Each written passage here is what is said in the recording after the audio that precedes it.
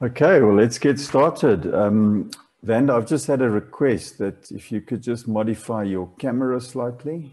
Um, but thank you everyone for joining this call today. Um, this is the fifth in the series. Um, this is the uh, Digital Insights Professor webinar, where uh, it is our intention to ask the question, can South Africa compete in the digital era um, at a global level?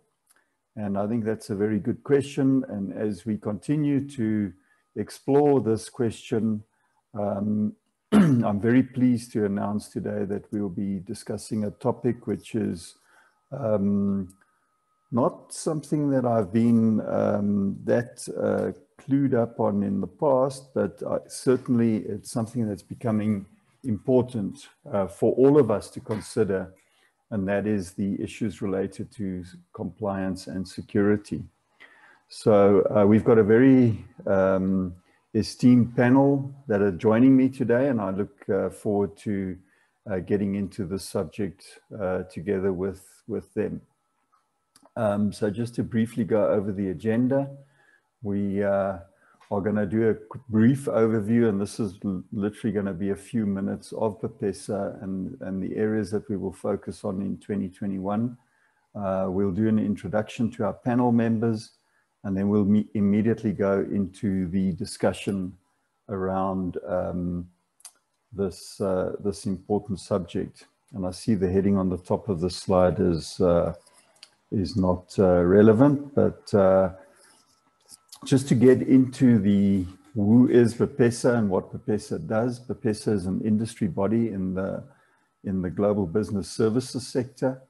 Uh, we provide our members and stakeholders the insight and support to succeed. Um, since the, um, the establishment of BPESA, there's been a steady growth in this industry. Um, the attraction of business into South Africa has grown over the last um, four years at a rate of about 24% year on year, which is quite significant. Uh, we have aspirations to grow the, this further and address the problem that the country has around jobs and uh, unemployment. Um, we look to adding uh, 250,000 jobs by 2023 and uh, 500,000 by 2030, which is a significant contribution to the industry and one that can only be done uh, in partnership. So this is a partnership between industry, between government, and between all our stakeholders that are hard at work in addressing the issues that the country faces. Um, and as I said, the question that we're here to answer today is, can South Africa attain the status of being a leader in the delivery of IT outsourcing and digital services?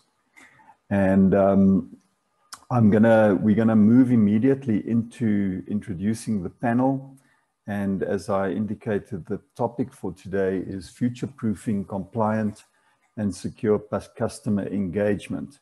And I think this is an important uh, topic as, as consumers and as customers. Um, I think it's important for us that we know that not only is our data safe, but that the transactions that we are doing are secure and that uh, that whole environment is safe. So the, um, the compliance that are, measures that have been put into place are for our protection, but from a security perspective, if you're an organization that is delivering online services, especially in this digital age as we move forward, uh, security is going to become a fundamental uh, requirement for you to look into. So um, the panel that we have today, we have uh, Vanda Dickson, who's the executive head of OneVault. Uh, she's been there since uh, early inception. Uh, we've got uh, Francois van der Merwe, who's the CEO of T-Forge, and we've got Brian Brown Cook, uh, the Vice President of Business Development in South Africa for Startek. So, um, Vanda, I'm going to just ask you to do a brief introduction of, uh, of where you are and your and your role in OneVault and things that excite you, and uh, and then we'll go through the rest of the panel members. And welcome, Vanda. Thanks very much, Neville. Um, nice to be here. Um, I think just for everybody, I know it's very much of a BPESA um, audience. Um, very well done for those who were involved in regard, with regard to being so successful in achieving the status recently. I mean, it's great for everyone. So um, just a word from my side. Um, a little bit about my background. used to be in contact centers for many years, which is where I met and know, know Neville from. And then um, about nine years ago, I moved into the biometrics field with OneVault. And it really is quite aligned to things that we're seeing in that customer experience and customer engagement path. And that is that we um, market and sell and implement voice biometrics. We are extending our solution stack into other things, into other biometric um, environments, but clearly very relevant to this particular audience is that authentication of your customers in any uh, shape or form, whether it's driving automation, self-service, or within the contact center is critically important. And third factor, uh, third, factor um, authentication or biometrics, as it's commonly referred to, is critical for the future success of our contact centers. And I think it's something that more and more contact centers within South Africa are going to have to really look at um, uh, embracing. So yeah, just a short intro for me and just to say that my surname has been spelled incorrectly. So it's with a CK and not an X, please. oh yeah. my goodness, Vanda, okay. I should know better. But yeah. uh, it's been uh, tough. Thanks no, for no. So thank you, everyone. So uh, publicly, um, thank you. Mm. And then, um, so with that, let me, I think I've lost the slide in that. Uh, all right, well, Francois, if you could, uh, Francois is the CEO of Teleforge or T-Forge. I think you've rebranded and going through a rebranding. And I like your, your new logo, by the way, it looks great.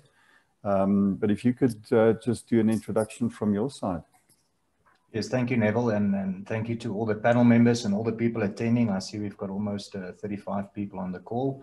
So, um, you know, I've got the privilege of leading this business. We're a software company. Uh, our core uh, solutions or products we develop is, is pretty much fundamentally an omni-channel solution that ranges from various type of dialers, intelligent dialers, some AI analytics, BI tools, um, social media integrations. Um, so, so almost consolidating all these various platforms into a, into a single platform, obviously everything in the cloud, that's what we do. We have uh, a lot of clients, um, call center clients. We only work with call centers as a business. Uh, we probably have 2% of our customer base as corporates. So we've been in the call center space for eight years. Uh, we've grown um, from a very small business to, to I would say, a slightly bigger business.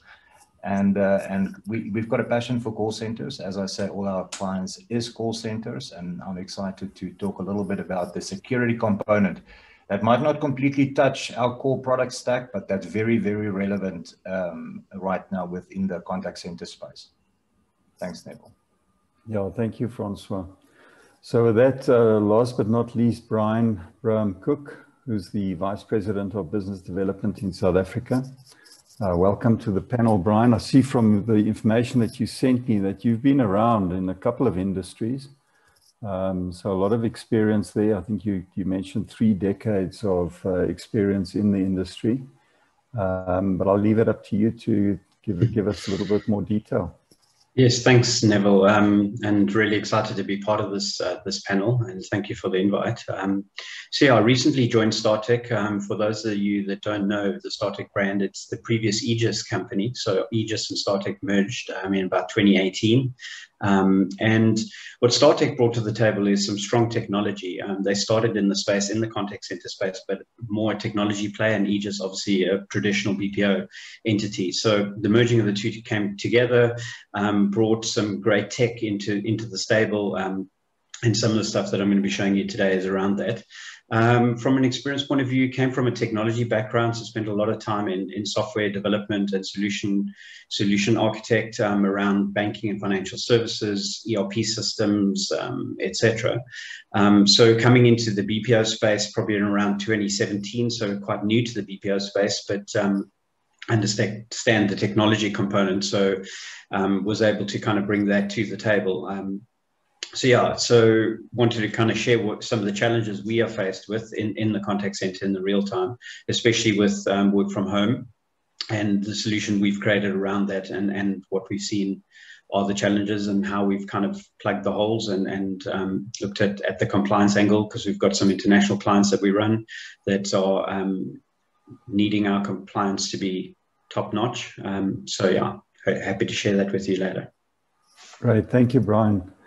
So we're going to go directly into uh, opening up some of these topics, and um, I'm going to be um, asking each of the panel members to uh, respond to questions, and then we've we've uh, changed the format uh, slightly this this time around, and um, we do have some slides, and so we're going to be flighting those slides. But for now, I'm just going to end the show or the slides anyway, and um, and then I'm going to just uh, ask uh, Sam to get ready. We've also got a poll uh, that we're going to be asking.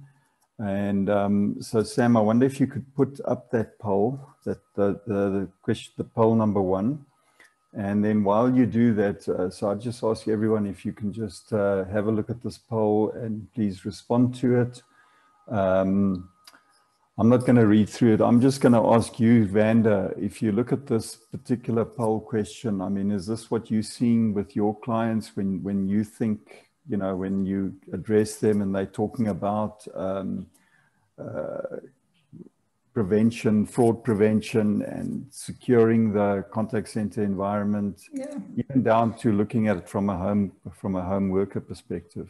Yeah. So so thanks, Neville, for that. Absolutely. So. Um, specifically in the contact center arena, um, and perhaps this poll was maybe slightly misleading in terms of account impersonations. I think uh, what we're seeing within contact centers, the increase in, um, in impersonations or people phoning into call uh, centers and trying to be someone, someone else is just growing phenomenally. And that is probably one of the biggest drivers to utilize voice biometrics um, in a call center environment for the simple reason that you're relying on an agent to be able to navigate their way through some very sophisticated individuals who possibly as a living for those that are syndicated and you know maybe there's some opportunistic um, individuals that are trying to commit fraud but it's it's huge. And we see it working with the the, the blue chip companies that we um, um, work with currently how this is increasing and how critical it is for them to be able to put in place solutions that are going to not only protect their customers, very importantly, not only their customers, but their staff as well. So um, uh, whilst, you know, many contact centers historically I've seen specifically in BPO will think, oh, maybe voice biometrics is a little bit of a threat. It's going to cut down on my average handle time. That's commercially how I've structured a deal. But at the end of the day, the, the, the, upside value is absolutely phenomenal for all parties, including the ability to drive operational efficiency. And that's why um, the, the concept of fraud is, is driving the adoption of voice biometrics. And it is something that um, is is critical to the ongoing success.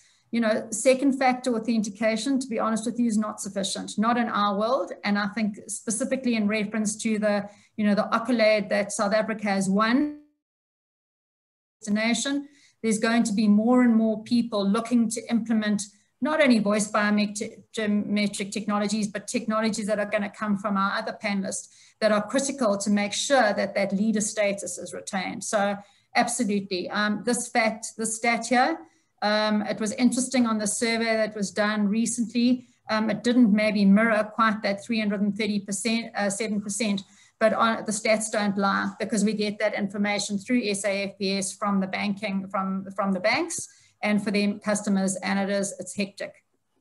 Yeah, so that's it. Uh, uh, yeah, it's a critical thing that needs to be thought through well. Yeah. And I think it also depends on the type of contact center, right? So if the contact center is, is uh, transacting economically, then I think there's going to be more likelihood of, of fraud. Whereas if it's just the customer support, I mean, there's not there's not really that much Absolutely. of an issue there. Yeah, so I agree with that. I mean, many many people will say, oh, you know, it really is only uh, relevant to those call centers that have got repeat callers.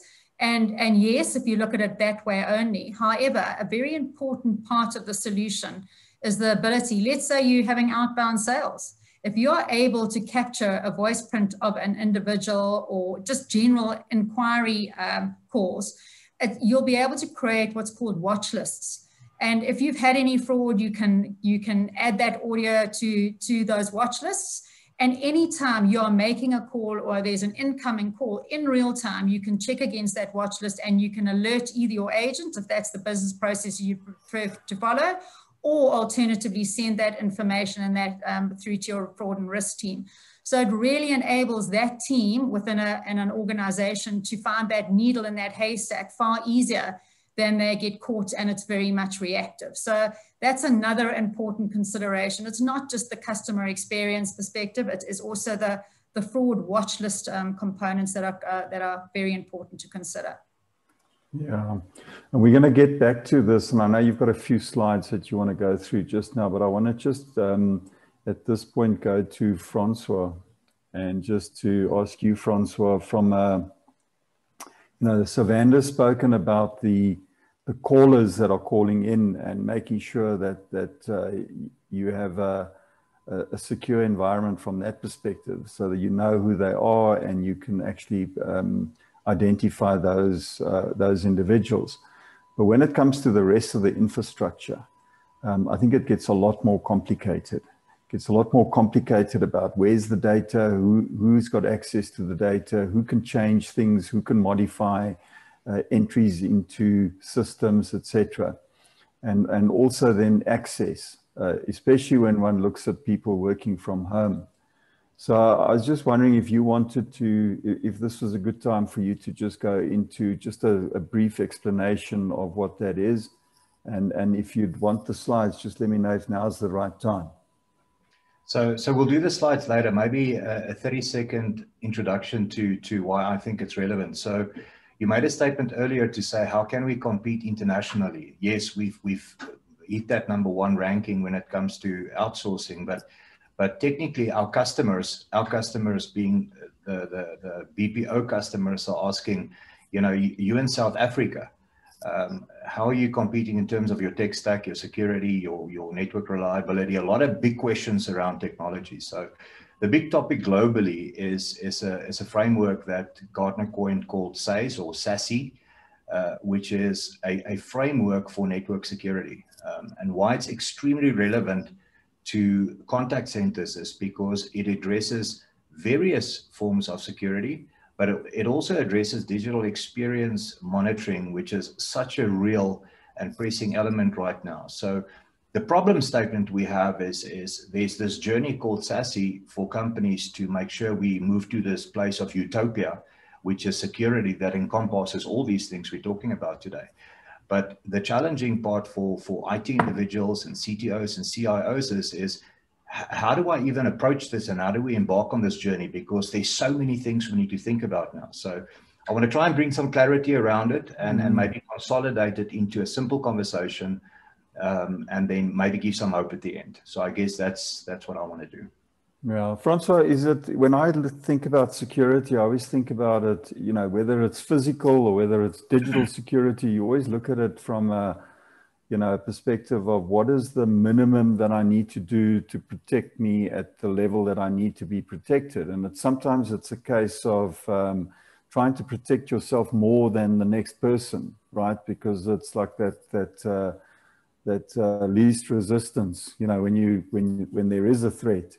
Um, is that the case in terms of contact centers and the way they need to view it? That there is a, that there's an evaluation that needs to be done and said, okay, this is how much security we're going to add, and let's because we're never going to be that secure that we can say it's fail it's fail safe, right?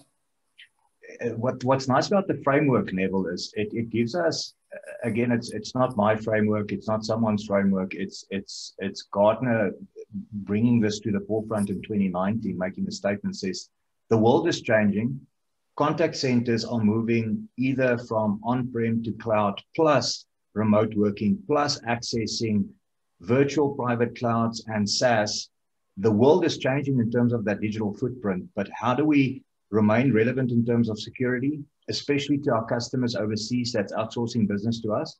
And how do we take this very complex network architecture and, and secure it, but at the same time, do it in a way that our agents have the best experience with the technology. So it depends on where the contact center really is in this whole journey of digital transformation. And the framework gives us a nice tool to say, I'm currently here on my way there. What is the elements I need to think about right now, moving towards this place of utopia where everything is in the cloud, everybody's working remotely, and everybody's happy? Okay, so there should be like a journey that people can decide this is what I want to do, and this is the time period over which I want to do it, and then make it really practical to their business. Yes. Okay.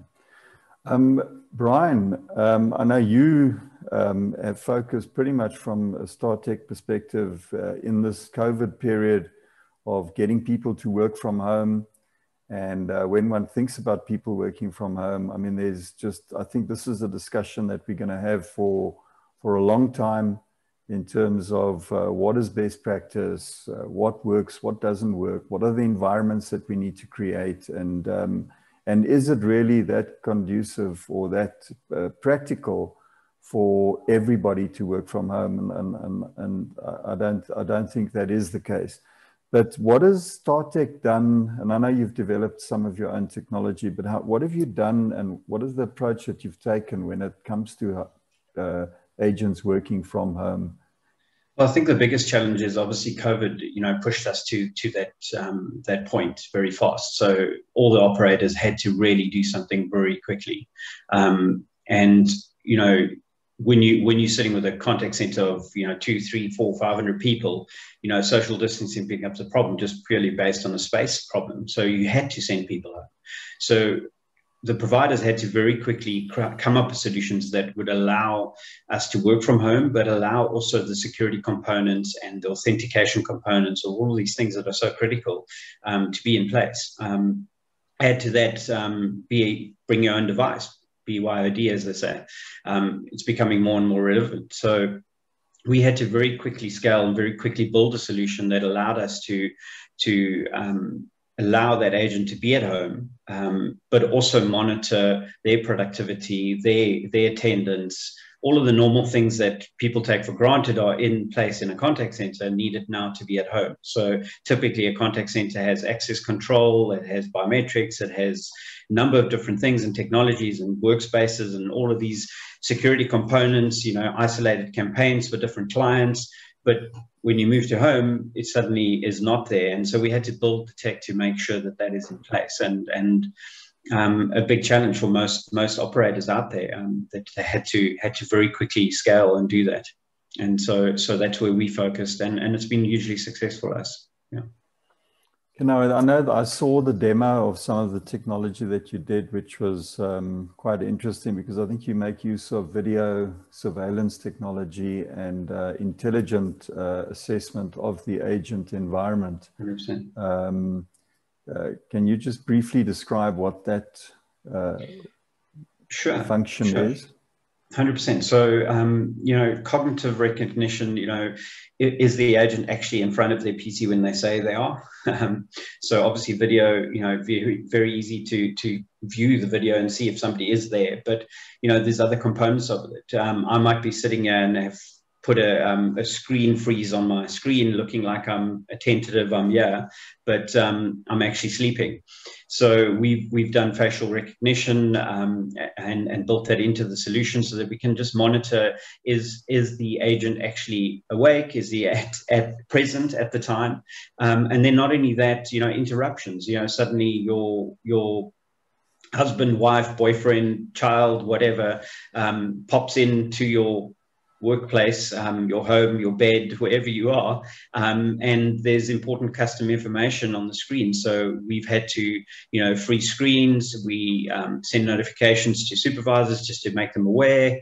Um, but it's more than just, you know, monitoring the agent. Big Brother's watching you. It's around also monitoring productivity. Around, mm-hmm. you know, there's many agents that do amazing jobs that are on the on the go, really um, creating a great experience for our customers, um, and they need to be rewarded for that behavior. So we we're not only monitoring are they asleep, but we are monitoring what is their activity, how they how they're operating with our customers. Are they excited? What is their body language? All of these things are relevant. So add to that the compliance component. So we've had to, you know, um, very specifically lock screens when when um, a third party is present in the room. Um, somebody starts using a mobile phone, we pick that up, we freeze the screen, we send a notification. Mm. All of these kind of things are, are really relevant, in, in especially with um, compliance issues around you know financial services. You know the, the customer data is very very um, confidential, so these are all the kind of components that we built into the solution that that we had to had to do um, to remain compliant. You know. Yeah. Okay. Well, that sounds like uh, very uh, interesting. And um, have you had any experiences of, of people that have been managed uh, accordingly based on being caught out or being Hundred percent. I mean, you know, everybody I think is is human, and you know, sometimes we we do get tired. I mean, this whole COVID um, mm. process has been incredibly tiring and incredibly draining on a lot of our agents. And I think we forget that you know, doing this job on on an ongoing basis daily, it, it's draining. Um, so it's more to help the the staff member to say, hey, take a break you know let's route the calls to to another agent for now take a break you seem to be falling asleep or whatever it is. Um, so it's not necessarily to to only you know be the the the stick method it's more to also help our agents and and you know keep them engaged. So absolutely we do find people that that would would try their luck and that's normal i think i think in any environment. Um, and there's no there's no silver bullet solution but it just helps us to, to monitor and just to make sure that we're securing the, the financial information, the customer information. That's absolutely key, yes. and that it can't get into the wrong hands. So, you know, there's other challenges around authentication, you know, sign-ins, all of these kind of things, and and pretty much um, the the stuff that Vanda and Francois are speaking about is is absolutely needs to be there. You know, that's a no-brainer. Yes. You know, so that goes hand okay. in hand uh, with thanks, what Brian. we're doing. yeah. yeah. Vanda, I want to get back to you and um, just because I'm sure that you could also monitor the agent side in terms of the voice and the interaction and make sure that uh, those interactions are, are um, authenticated from not just the caller but also the agent.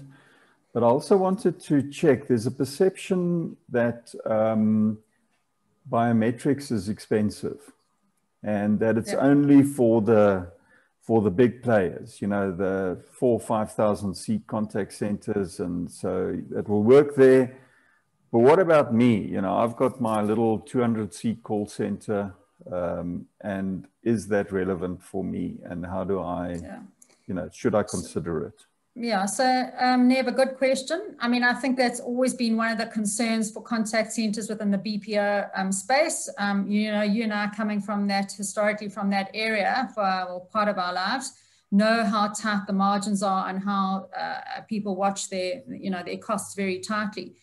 Um, so, you know, voice biometrics at some point obviously was a consideration for that. I think from a OneVault point of view, we've also known that. We so some of our deals that we have are with the big blue chips who have done it because of a range of reasons. Um, it's a it's been well worth the, the investment in the ROI.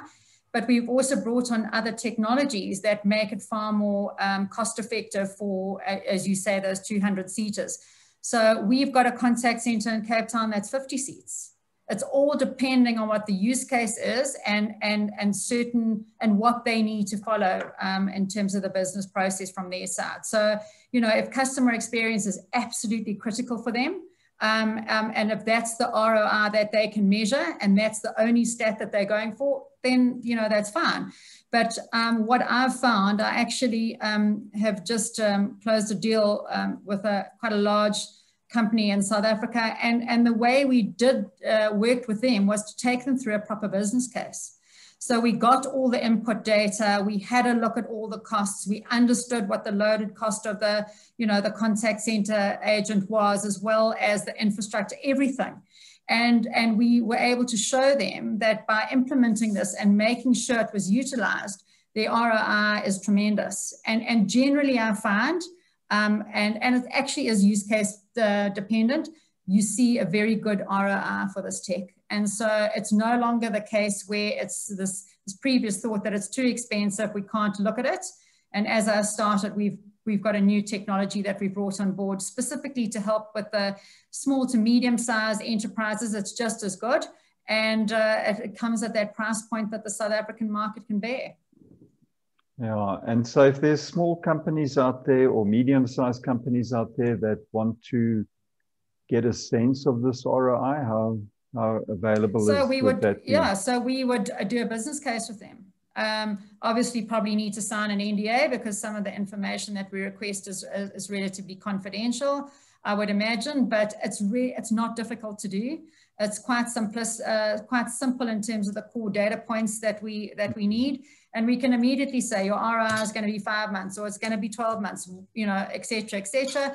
And that really helps people make decisions. Um, yeah. And I think that's an very important, it's not so, so it shouldn't be technology for technology's sake. That's the first thing that I would say.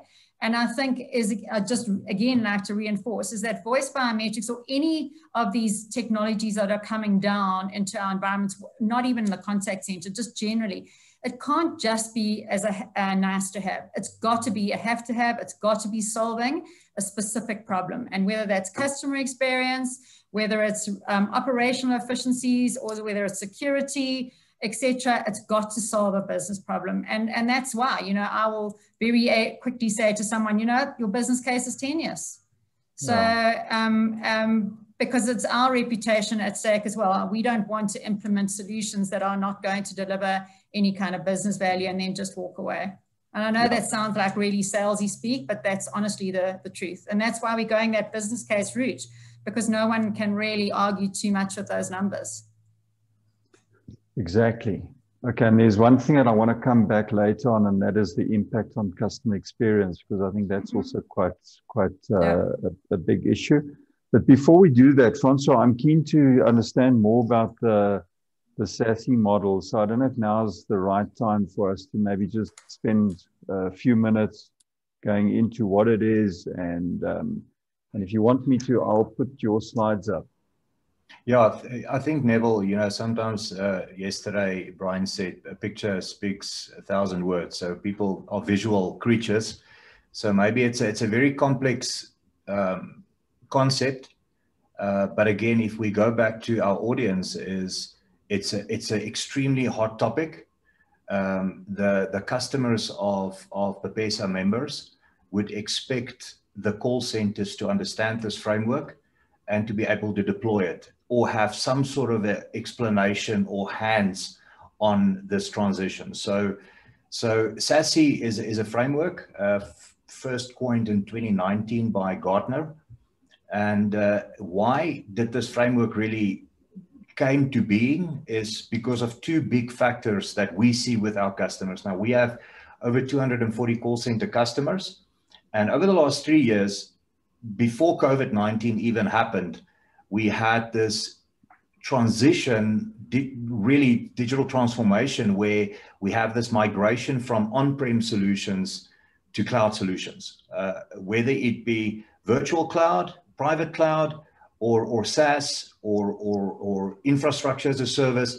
But we see this massive migration of having everything on site to moving to the cloud. That's, that's the first driver that came in. And the moment we did this and are doing this or planning to do it, the security model changes.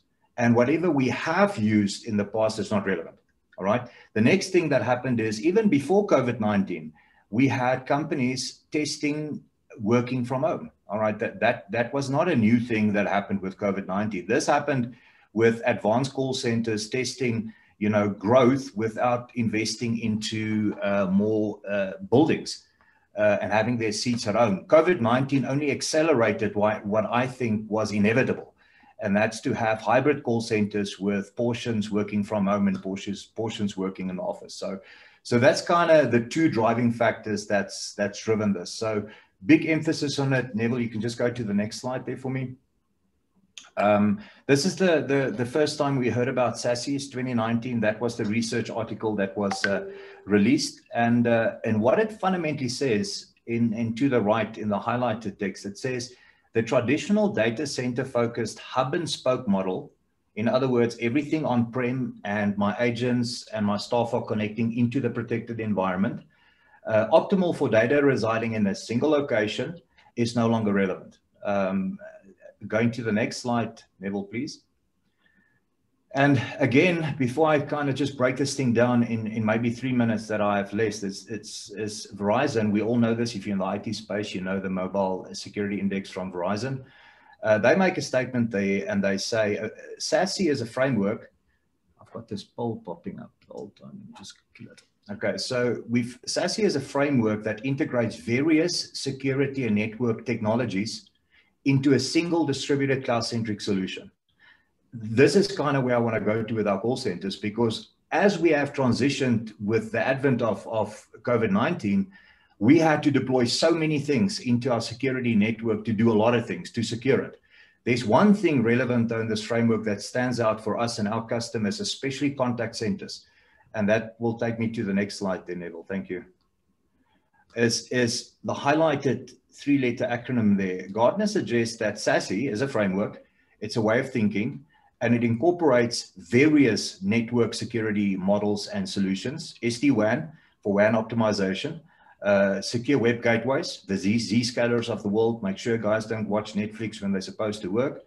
Uh, cloud access security brokers, what happens if we have SaaS, Office 365, and, and we want to connect to that? Connecting through the VPN to the internet is, is not efficient, and we have that hairpinning effect that uh, fundamentally breaks uh, the, the end user experience zero trust network access that not allow by default posture of my network, firewall as a service, and then digital experience management.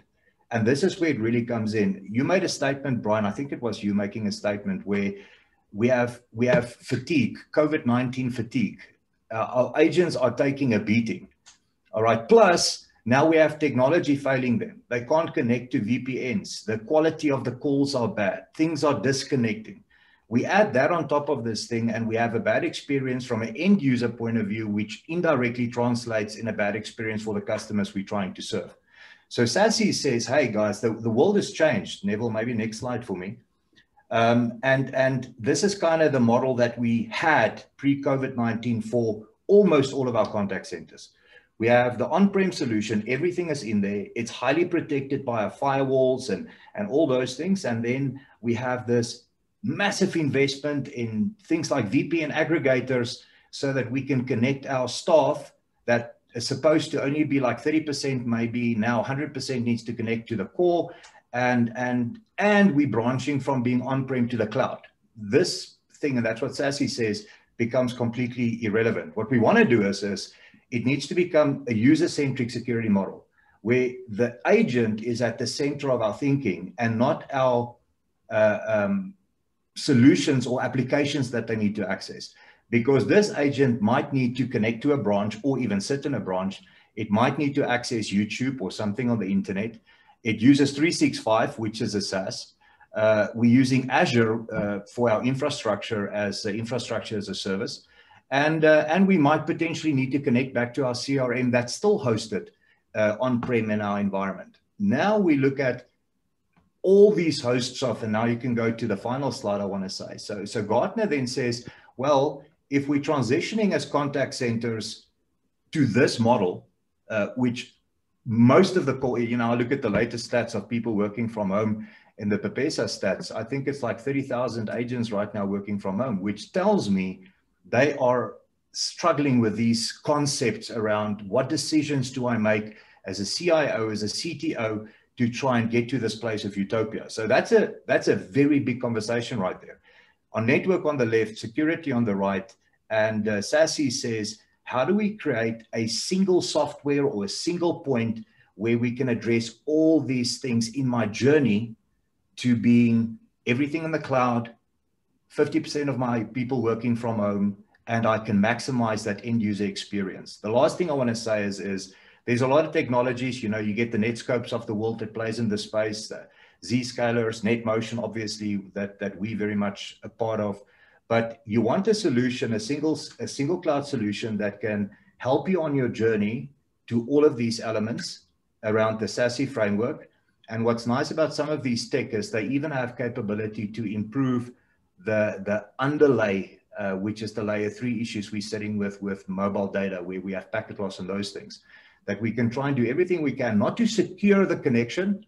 This is my last sentence, but then also obviously to make sure that end user, that agent is looked after from a techno technological point of view so that they can actually do their job and not be stuck in issues all the time. All right. So security is more than just secure.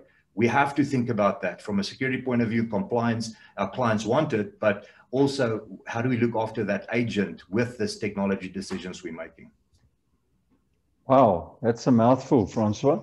So how does, I mean, how does a company that's, um, that, that might have a small IT department, they're making use of all these cloud uh, they've got partners that are serving them on from the IT perspective. I mean, how do they really approach this and and and and and start addressing this? These requirements. Yeah, that's a, that's a great question. You know, and and there's as I say, it's a hot topic, and a lot of these uh, secure edge uh, um, remote sec- security applications is is playing the SASE card, which they should, and which is a hot topic. So how do you address it? As you speak to to someone like us, or there's many brands that that that plays in this space, um, and uh, we kind of see where you are within your journey, uh, and when you want to go, and and there are platforms in the like of of NetMotion which gives you the core capabilities of the full SASE framework. Also Netskope, you know, I've got nothing to do with Netskope, but we have we have technologies that plays and that can give a small company or a big company one single platform that will give you the core capabilities across the whole SASE framework. Mm. But uh, you can also adopt it as a standalone solution, any one of those tech, or you can use it within your current infrastructure. It doesn't have to be a lift and shift. So if you highly invested into VPN aggregators, it doesn't mean we have to lift and shift that and now putting new technology. No, no, no. The journey is how do we move towards that place that I talked about? And, and there are tech that can help you in that transition without having to deal with five different companies, all of those technology stacks to try and get there. Yeah. All right. Well, let's let's test it, Francois. Um, Sam, can you put up the next poll question? Uh, and there are two questions in this poll. Uh, the first question re revolves pretty much around um, the uh, access management um, areas. And then the second one will go into uh, the topics that uh, Francois has been talking about. And, you know, um, please, if you can respond to this, we'd just like to see how, many, how many of you are actually aware of these technologies, uh, specifically in the, in the SASE model. And then uh, we'll, we'll carry on talking on this side. So Vanda, I want to just, and Francois, I'm going to get back to you in a, in a minute. Uh, but Vanda, I wanted a quick response from you when you consider the impact of biometrics on the customer experience, that uh, you know that engagement between the contact center and the and the customer, and if there's biometrics in place versus if there isn't. Yeah, so I mean, I can just reference um, um, some of our clients. Uh, one of our um, our sort of marquee clients is a um, um, private bank um, and they, um, the, decision making for them to, to, to go with passive voice biometrics was purely on customer experience. That was their deciding factor. Um, and that is because they don't have branches, they have high net worth clients, and they wanted to make sure that the experience that the banker, that's what they call their agents, the banker with that customer was, was, was was real and relevant as opposed to going through a whole lot of knowledge-based authentication questions around, you know, uh, the traditional, your first dog's name or pet's name, etc., etc., because that created a huge amount of frustration with those end clients. So that was the only thing that they were focused in on and they saw an immediate benefit on customer experience in the way they managed it in terms of their customer sat scores and the feedback that they um, got from their clients. So that was the one thing, and they and they met their target. On the back of that, whilst they were not worried around average handle time, um, because they said they wanted their bankers to speak to their customers for if they want to be on the phone for them for an hour, great, because that's the business we're in. So we don't have a problem with that. However, they have seen the benefit of a reduction in average handle time um, as a corresponding feature that they don't have to go through that very laborious process of questioning customers. Um, and that's been a, a, benefit that they that is that is they've realized, even though it wasn't one of their key success factors. So that's the the second thing. And then the third thing is the ability to be able to, to pick up uh, potential fraudsters. As a private bank, you would probably suspect that if anyone's going to try and get or overtake account, a, a, an account or something along those lines, it's going to be to one of their customers because they are clearly have money in their bank. I mean, we point this coming to me because there's nothing in my bank account. But for many of those clients, you know, they've got rather large um, um, um, sums in their accounts. And by putting in voice biometrics, they'll be, they are able to obviate those particular um, uh, threats through and through imposters. And we've seen that not only with this client I'm talking about, but a fund manager we delivered uh, the solution to as well, where they have been able to address and, and uh, um, circumvent uh, fraudster getting into uh, an account very quickly because of the use of uh, passive voice biometrics um, in the environment. So absolutely, we've seen another retail bank that we're dealing with. I mean, in, a, in the first part of the implementation, I remember the head of the environment coming to me and saying they've seen a 10% increase. They used NPS and their NPS score in a very short period of time. And if that is a strategic, you know, success factor in your business, that's a fairly massive jump that you are starting to realize. Yeah. And then I think there's a huge impact on the agent as well. You know, you're offloading that certain process. Absolutely. I mean, I, I think, re- as I said earlier, I mean, you're then you're now not making them fraud protection agents. Um, I think that there's a lot. I mean, agents these days, I, I think Francois also noted it and, and, Brian as well. They expect to do and juggle a lot, especially when we're starting to move into more of a blended um, uh, contact center agent environment that is able to, you know, cross pollinate across a lot of different areas. So they've got to remember and know a lot of things. So making them um, um responsible for making sure that they've authenticated somebody um, is hard for them. They're in the business of actually servicing the customer. They're not in the business of trying to prevent that customer getting service. Mm-hmm. Okay, that's great, Vanda. And I think if I could just make a comment on top of that, because I know that there's always um, a challenge when you come to uh, BPO operators because of that cost per seat mm-hmm. um, criteria. You know, what is it costing per seat? And you know, we all, you know, everybody's just trying to load up technology and then provide an ROI. And at the end of the day, you know, you've got ROIs competing against ROIs. Mm. But I do think that as an industry, and, and um, thank you for mentioning Vanda, but I failed to mention at the beginning of this call that South Africa was uh, uh, uh, announced as the number one destination for global offshoring and BPO um, uh, business.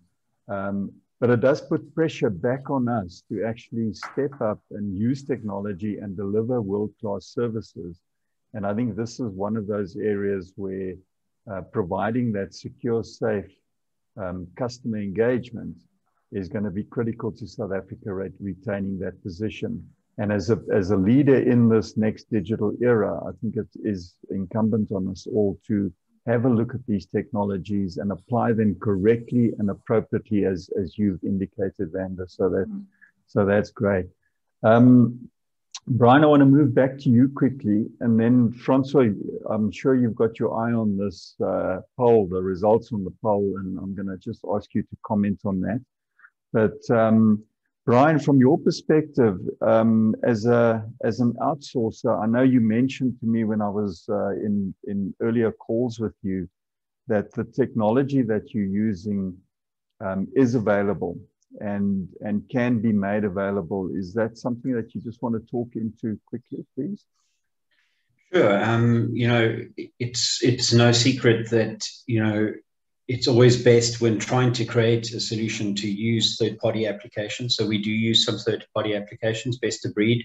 You know, we're not going to reinvent the wheel, especially when it comes to biometrics, for instance, pattern matching, and all these kind of things. You know, there's experts that do that. Um, so we we've embedded some third-party technologies into our solution. Um, they are available. Our solutions are also available. So we can definitely talk to anybody that, that needs or wants some, some further information. We're happy to do that and share with them. Um, so yeah, absolutely available in the market. Yeah. All right, perfect. Thanks, Brian. Francois, what do you think of those uh, poll results? Um, I don't know if, if, if is it available. Can the audience see it? I think they can. Yes, it's been shared. Yeah, it's, it's such a great depiction of what we see uh, in the market right now. You know, I mean, the fact that no one even mentioned CASB, you know, it, it, it, it speaks to a couple of things. Do we know what it is? Or it could speak as well that we don't access uh, SaaS yet from from our call centers, which is things like 365, Office 365. But fundamentally, that's what we see at the moment. We stuck with legacy VPN type hub and spoke models right at the top. That's the the most prevalent one, um, and uh, and you know we look at this, we can see where our clients sit within their journey, uh, the the SASE journey. Uh, there's a lot of work to be done. Again, I'm saying for BPESA's sake, um, Neville we have to be having these conversations because mm. our customers now looking at us as the number one place to outsource those people sit in first world countries and they're going to ask these questions uh, from us they're going to ask what's your journey what's your strategy to, towards uh, using the SASE framework with your security model uh, what does the future network look like for you um, and and I can see we have some deficits. It's not a big poll, obviously, but but it's yes. it's kind of it speaks to what we see in the market. Yeah, and I, I, think I was expecting this. I mean, because this is a very techie heavy uh, subject. Um, but I think the point is is that it it translates into business impact and um, and has an impact on the business. Um, you know, so while we could say, well, I'm look, my cloud provider will take care of all these things and they'll they'll sort it out. Um, I think there is a responsibility on the business to actually understand uh, what is the exposure and what is the risk, and to just be aware of it because it's not as you know we um, I often find that people say, oh, well, everything's moving to the cloud, so it's becoming so easy, and, and that is the case. Um, but when things become easy, it becomes easy for everyone. It becomes easy for the consumer. It becomes easy for the fraudsters.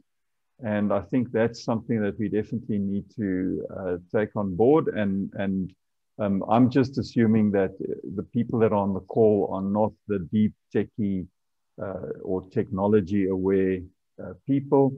But certainly those are questions that I think need to be posed to the IT departments to say you need to be aware of this and you need to be taking care of it. Um, so, um, Francois, is there um, is is from your perspective just the one final word on uh, how people should um, address this? You know, is the, you know how how big a problem is this? Can I actually just hand it off to my cloud provider, or do I um, do I need to actually have a, a people in place that at least know these things and are looking at them actively?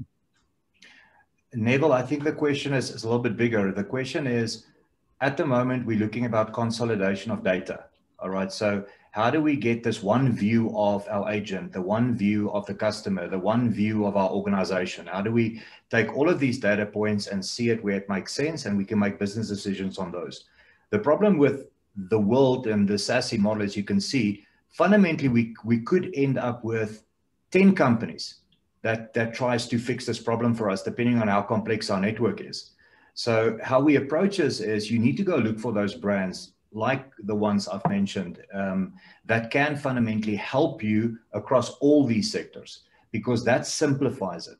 If we want to solve it by having individual conversations around CASB and around, um, you know, VPN, enterprise VPN type connections or, or SD-WAN, then we're going to complicate things. And that's where the SASE model really comes in as a guide and a journey to help us to say, hey, there's tools out there that can give us that single view across, across all these core capabilities that SASE subscribes to us.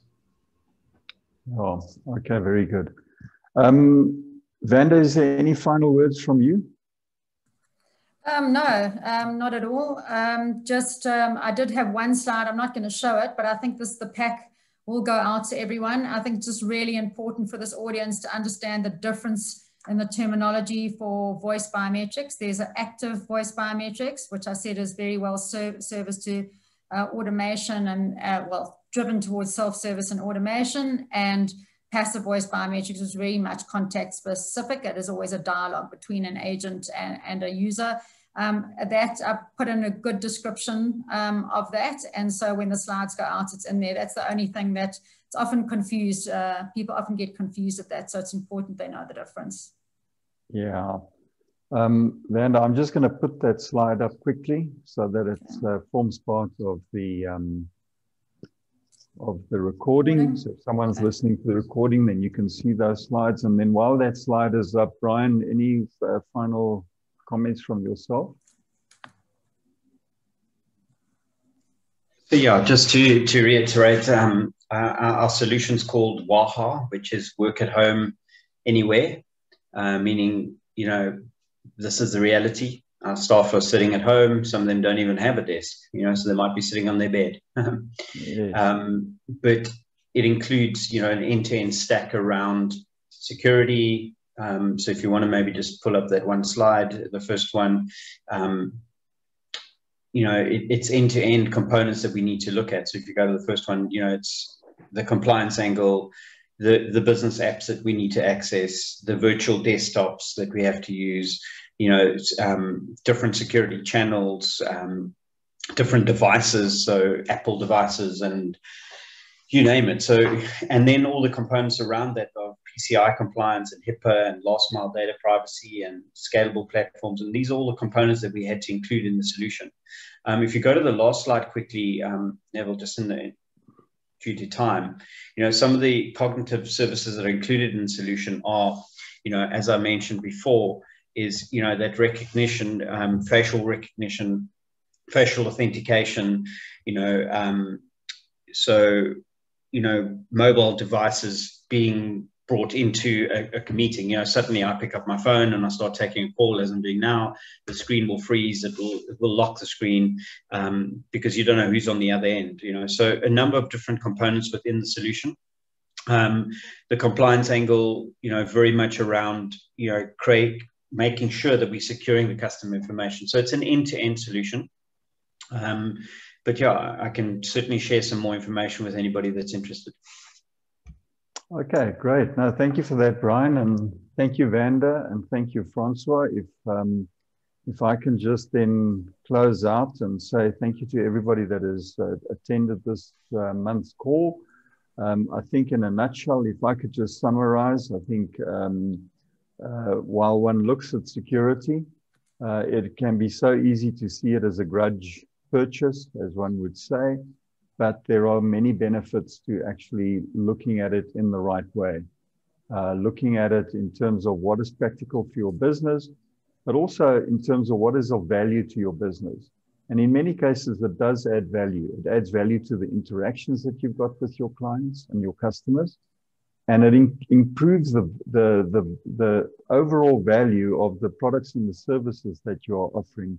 Because um, in a secure environment, you know, it's just so much easier for customers to gain that level of trust about what you do for them.